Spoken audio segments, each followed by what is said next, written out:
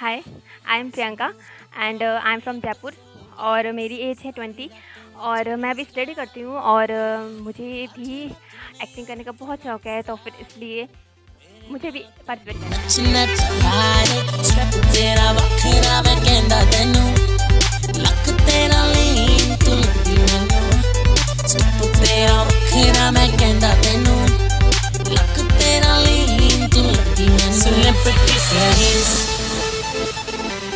Celebrity friends.